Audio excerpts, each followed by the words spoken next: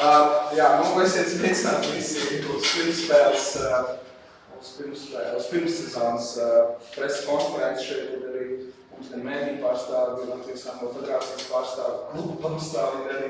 Un uh, varam uzdot jautājumus. Tātad uh, mums šeit ir jaunais treneris Sandrs Vešakovs, komandas kapteinis Oskars Arājs, komandas vārdsargs Arturs Kuģis un uh, atgriezies mājās uh, Māris Vešakovs, kurš ar šo arī pārstāvēs Dobats Tenaks Kuģi, kuģi kungs ir nomainījis dzimumu, kļuvis par jūsu. Dzimumu, nē. Jā, varbūt es varbūt arī sākšu pirmo jautājumu. Jautājums galvenais treneris Andrim Lešakovam izdevies starpsezonā papildināt, teiksim, tā sastāvu. Varbūt kā vērtē šos, šos jauniegumus un, un kā skaties uz jauno sezonu vairāk domājot par Eiropas. Nu, katru sezonu kā jauns izaicinājums. Un, uh, komandas sastāvā komplektēšana tas viens no galvenajiem sastāvdaļām. Protams, jau mēs esam priecīgi, ka tas kodols paliek. Un, uh, un uh, ja vēl papildinājumi, teiksim tā, pāris, jā, kurš te ir spēlējis un daudz kur citur spēlējis, protams, kas tikai ir pastiprinājums jā, un vēl vairāk kā tikai prieks ir un sastāvā esam saglabājuši, principā to pašu vēl pastiprinājušies ir arī kaut, kā, kaut kāds nianses sastāvā, bet nu, līdz pirmais spēlējums būs kārtībā. Komandai pievienojas arī Guns Piļpuks, vai, vai, viņu, vai viņam ar veselību viņš varēs palīdzēt arī Eiropas komandai? Jā, šodien Guns, šo, šobrīd Guns vēl nav gatavs spēlēt, tā, teiksim, tā 100%, bet nu, tas arī laika jautājums, un es domāju, uz tiem svarīgākajiem mačiem Eiropas, iespējams, jau uz Baltijas līgas spēlēm jau redzēsim viņu sastāvā. Un lēnām, lēnām sasniegt nevajag, sasniegt nevajag, ja tā kā, teiksim, tā notiek rehabilitācija, kas traumas. Kurzemnieks, kurzemnieks grūti pateikt. Šobrīd teiksim, tā, tā atvestošanās iet labi, rehabilitācija notiek. Gada beigas iespējams viņš varēs sākt jau vajadzīgi handbola treniņus, jo šobrīd viņš dara visu, viņš spēlē handbolu. Kad mēs viņu redzēsim laukumā, arī decembris, janvārs, nākamā sezonas, nu, sezonas otrā puse. Tā kā arī nevajag sasteigt, ja ir daudz darba ieguldīts viņā, un tā kā atpakaļ viņš būs šo sezonu jautājums tikai kā. Skatās, ka viņi jau savas nebūs, laikam, šo sezonu domāju. Nu jā, teiksim, tādu spēlētājs mums ir sastāvs pietiekami plašs ir, un, protams, viņš nekur nepazūd. Šobrīd tas, ka viņš diezgan geogrāfiski kā atradās no Dobels un izbraukāts treniņiem, sarežģīti ir, bet teiksim, tā, nu, vajadzīgs viņš jebkurā brīdī ir gatavs spēlēt un pievienoties, ja nepieciešams. Ja, nu, bet vairāk, vairāk nebūs nekā būs. Es saprotu, ka no vienīgs spēlētājs viņš ir deficīts.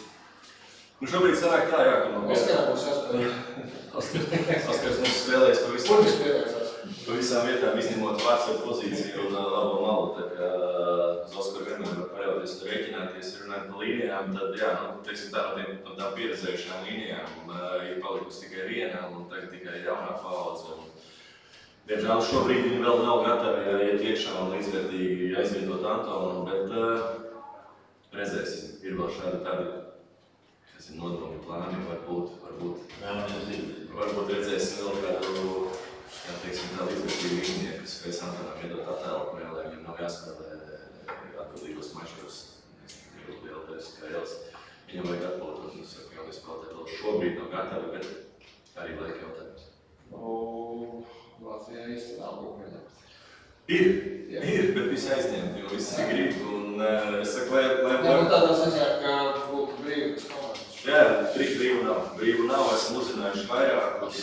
Un, teiksim, tā, eh, es abrīnoju Lūdzu, ja, ka viņi atrodas geogrāfiski tālāk no tādas Rīgas. Ja, tad to pat arī priekš daudziem spēlētājiem ir jau tālu un braukās lejiem uz treniņiem. Uh, Daudziem spēlētājiem tas ir par grūtu, un varbūt tas ir viens no galvenajiem iemesliem, kāpēc mēs šobrīd nedabūjām kādu otru jo Visi, visi bija tuvāk mājām, netērēties tā brīvu laiku daudz. Jautājums Mārim. Pēc diviem gadiem nekļūdos atgriezies atpakaļ Dobalē. Vai nu var teikt, ka leģionāra gaitā ir eh, pielicis punkts un vai, vai, vai šis ir kāds, teiksim tā, karjeras, eh, kā lai pasaka, pēdējais skrējiens pēc tituliem? Ne, nekļūties, jā, pēc diviem gadiem atgriezos. Uh, nezinu, vai skrējiens pēc tituliem vai kā. Es nolēmu, jā, šo sezonu mājās nospēlēt, kā sakām, un tad skatīties tālāk, nesaku, vai pēdējais vai, vai pirmspēdējais vai kāds. eh, Vienkārši jā, izbaudīt šo sezonu, atdot savu maksimumu, ko es varu. Un tā, skatīsimies tālāk eh, nākamā vasarā. Ko tu vari ko tu vari pateikt, tagad uh, divus gadus nospēlējis Itālijā par Itālijas čempionātu? Varbūt, ar- varbūt nesalīdzināsim ar Latvijas čempionātu, bet mēs ar Baltijas līgu salīdzinām, kā tu vērtētu. Grūti, grūti spēcīgs čempionāts. Sevišķi pirmās sešas komandas ļoti spēcīgas. Pirmās liekas, ka četras spēlē, kā viņš saucās, Eiro, Eiro, Eiro, Eiropas, Eiropas, kāds spēlēns ir tāds.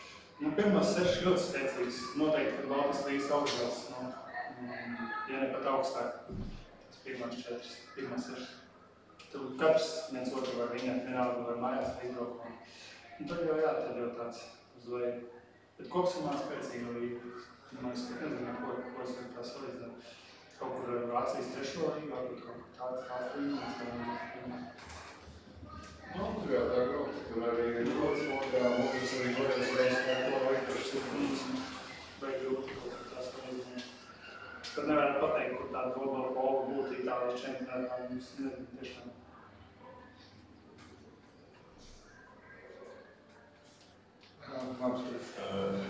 Kā sauc to līnijas spēlētāju Gunters, eh, kas ir pie, tagad pie ASV pie celtī? Laimēks? Jā. Mārim jautājums, varbūt tu vai centīsies pārspēt Gunteru vai rekordu jūsu spēlēšanu. Nē, es necentīšos nevienu pārspēt. eh, es vienkārši- Jo tu izstāsties diezgan labā formā, tāpat kā viņš ir cits. Izmantot savu tikai nolūkiem. Labā, labā fiziskā un visu. Kā nevajag mest krīt grūpas teikt pēc gados pēc. Tas tāpat savas Oskaram jau daudz vairāk titulu. Tīto viņam nav, viņam gadījumās. Tad, ne, Oskar, tev arī jautājums. uh, Eiropausos otrajā kārtā mums ir ielozēts pretī Bosnijas un Her- Hercegovinas klubs Leontā. Uh, Vai, vai ir sanācis jau, vai komandā esat jau runājuši par šo pretinieku, vai ir sākusies kaut kāda skautošana vai, pretinieku izvērtēšana? Cik daudz zinat, varbūt, cik daudz ir informācijas? ļoti virspusēji, tik cik es uzzināju to komandu, sāku kaut ko googlēt, teiksim tā, jā, un kaut kā izlasīt tos viņu Facebook, tas kaut kāds tāds. Tur ka neko daudz. Nu jā, tad nevar vispār iztūkt, bet vien, viens ir tas, ka es nu, uzzināju, uzreiz to es atpazītu, kad Keharē bija gadus apkārt tāds alžīrs, tas ir pie viņiem spēlē, bija tāds bombardieris, nu, viņš ir metu, kad 20 reizes spēlē, cik labi slikti, labi mums, Cik viena viņiem, jā, nu, iemet viņš kā tāpēc, ko, nu, labi, ok, met, metais labs un viss kārtībā. Tas pie viņas, ka visvairāk citas informācijas īsti nav. Ne, tik tur tās spēles var pastīties visu, viņiem tas sastāvs noteikti komainījies. Pagaidām tik tā ideju līmenī kaut ko mums par viņiem zināt. Gaidām šīs sezonas pirmās spēles, kur varēs tādu svaigāku informāciju par viņiem iegūt, bet tas, ka tajā līgā spēlē nemaldos 17 un 18 komandas. Ir trešajā vietā un pirmo reizi no kaut kā pēc ilgiem gadiem un grib spēlēt Eiropās, tā kā tas daudz ko liecina. Es domāju, ka tas Balkānu komandas tas par sevi cī- cī- cīnītāji un spēlētāji, un kas ir kārtīgi komanda. un Kas priecē tas, ka atkal tā ir komanda, kā mēs neesam spēlējuši, un kaut kāds cits handbola stils, un atradīsim mājas, sevišķi cik divus gadus neesam spēlējuši. Beidzot būs skatītājiem iespēja redzēt kaut kā augstāku līmeņu maču. Tā nākamajam jautājumam, jā. Tad es arī atgriezies, kā saka, otro sezonu, jā, Dobos komandā. E, Kā tu jūties, jo tu šobrīd esi principā gandrīz vai vienīgais un pirmais numurs, jā, un kā es tevis, gandrīz tāds kā pustukšs, jo īpaši to, ka Vārtsaks ar ir šobrīd Norvēģijā, paliek tikai putni. Vai tev ir kāds skats, ka vēl kāds varētu būt? Ko tu varētu izaugt sev? Nu, kas saka, galvenais ir palikt veseliem un uh, gribētāji, varbūt jau gribētos, lai ir vairāk, kas ir aiz, uh, kas man aiz muguras kož un uh, kas saku, tajā laikā, kad es biju Dobalē un es biju uz beigšu, un man priekšā bija uh, pieredzējušās vārdsargi, un man bija mērķis viņiem iekost un spēlēt. Uh, vai es to šobrīd jūtu? Teikšu, atklāt- teikšu atklāt, nē. Un, bet tas ir, tas nav labi, un es gribētu, lai viņi to zina, un lai viņi saņemas. Un, uh, uh, jā, mans mērķis ir uh, kādu laiku es vēl spēlēšu, noteikti, un palīdzēšu, un uh, mans mērķis ir izaudzināt Dobalē, gan Dobalē, gan arī varbūt kādu vecāku ārpus Latvijas. Tu, tu jau mazliet pieskāries tam, tam jautājumam, ko gribēju uzdot, bet uh, tu uh, komandā esi atgriezies, kā jau es teicu, otro gadu, bet tagad tu esi atnācis dzīvot uz Dogbelu un uh, arī šajā sezonā uzsāksi, tā kā, tā saka, jau, jaun, jaunu amploā. Trenēsi jaunos uh, vārdsargus tieši Dogbelē. Vai tas ir kaut kas, ko tu jau sen gribēji darīt, vai šī ideja nāca savā ziņā spontāni? Un, uh, kā, kādi ir varbūt tavi mērķi tieši jaunajiem? Zini, ka, uh, tas ir tas, ko es gribu darīt, jo tieši runājot par vecākiem, tas tas, ko es gribu darīt, un, un es zinu, ka tā ir lieta, ar ko es varu palīdzēt vietējiem. Varbūt ja arī tiem, kas nevēlas varbūt neko tālāk, bet viņi grib būt Latvijā labākie, un varbūt ir tādi jaunie cenšoņi, kas grib tālāk būt. Un, uh, kad es biju jau viņu gados, man viens nestāstīja un uh, neko neteica, kas notiek ārpusē, un uh, tas ir tas, ko es gribu darīt, palīdzēt citiem.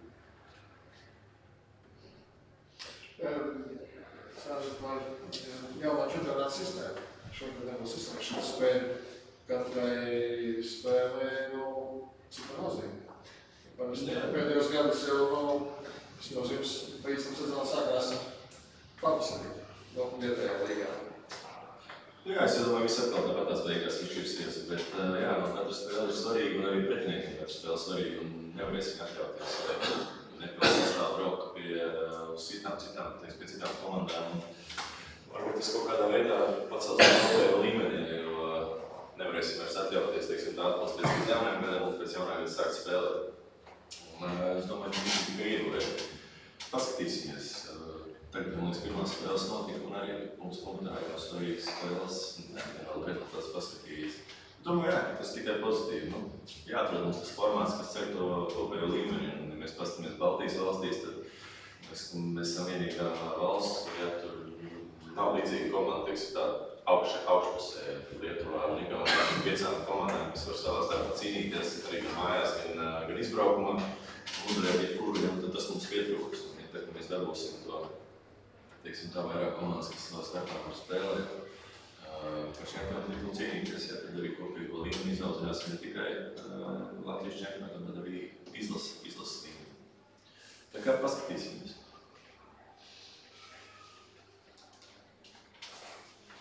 Presi jautājumu.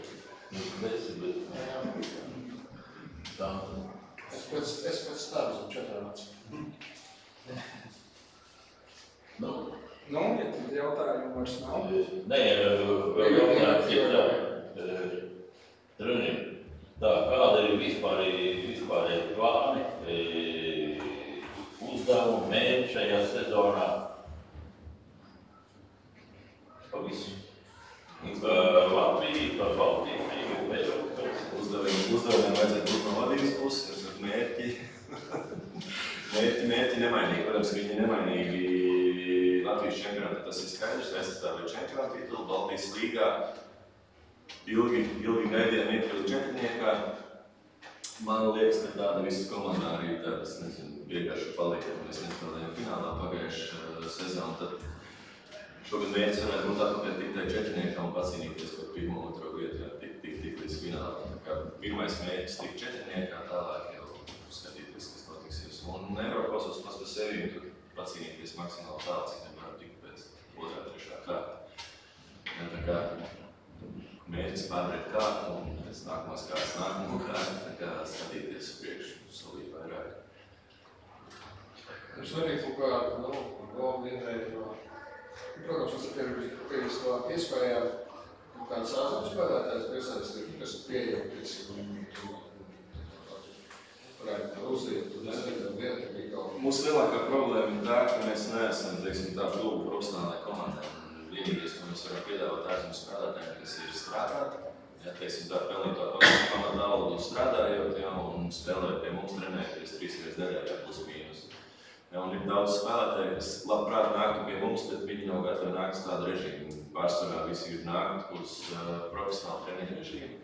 Ja, nestrādāt, pelnīt nav tikai no handbola. Un, Diemžēl šobrīd mēs to nevaram piedāvāt, pat nevaram piedāvāt tādu pusprofesionālu režīmu. Un Tad tie spēlētāji, kas uz to ir gatavi, ja, tad tie ir atkal tādi, vai viņi ir norietā, vai vēl kaut kādas citas problēmas. Nu, teiksim tā, pietiekumi kvalitīvi spēlētāji mēs nevaram dabūt, ir tā, ka mums nesam vēl tādu profesionālu režīmu. Es varu pateikt, ka šobrīd bija ārējais spēlētājs Grūzīgs Krējus, Čārlis.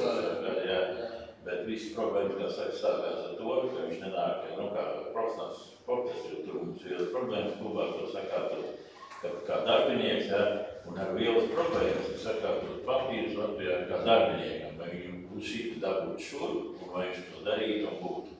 Nu, nu nav mums tādas, tādas, kas saka, Latvijas likumdošanā visām juridiskās problēmas. Vai Tā, dabūt? tur ir minimālais, uh, minimāla uztur līdzekļi. Jā, tā alga ir, tā alga ir tik liela, liela, ka ka viss. viņš nevar atnākt, teiksim, uz kvalificētu darbiniekiem, viņš var nākt kā palīdz strādnieks, un tādu algu piedāvāt darba devējs vienkārši.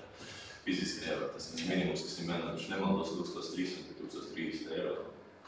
Bet, bet tā ir cita problēma, es saku, bet galvenā problēma tāda, ka mēs nevaram nodrošināt viņam profesionālu režīmu. Viņam vienam pašam iespējams, ka mēs varam, jā, bet tas jau viņam neko nedod, ja ir um, blakus spēlētāji, kas arī Likumdošanā vajadzētu sakārtot to visu. Jūs kādā gadā ienāk arī jaunu spēlētāju. Pagājušajā sezonā viņš bija pirms tam. Un Šo sezonu nesaucot uzvārdus, varētu būt kāds, nu, nosacīt jauns vārds, par kuru mēs runājam, nu, kā piemēram pagājušajā sezonā. Rūpīgi. Nu, ir, ir man, ir man pāris skaidri, kas, uz ko es visu laiku ceru, ceru un gaidu to brīdi, kad viņi izšaus, jā. Un bija pārsteigumi arī tagad pēdējā turnīrā, bija pārsteigts par, par spēlētāju. Nu, labi, nav, nav slēpt, mums nākamie, ir tas pats Bisinīgs, tas pats Elfreds, ja tie, tie, kas jau varētu būt gatavi spēlēt uz šo brīdi, un no viņiem mums gaidīs visvairāk. Pēdējā turnīrā patīkami pārsteidz, un lai tik turpina trenēties, jo kāds kuģis teica, lai elpo paklausīt tiem, kas ir kā nosacīts pirmie numuri, gan, gan tie pirmie numuri būs spiesti uzturēt sevi līmenī, ja dialogs līdz. Tas ir tas, kas mums tā veselīgā konkurence nepieciešama klubā, kā tādā jaunatnē un pieredze. Ja mēs to dabūsim, to līdzsvaru, tad arī viss būs kārtībā. Man tas bija pēdējais jautājums. Nu, man tas bija pēdējais jautājums.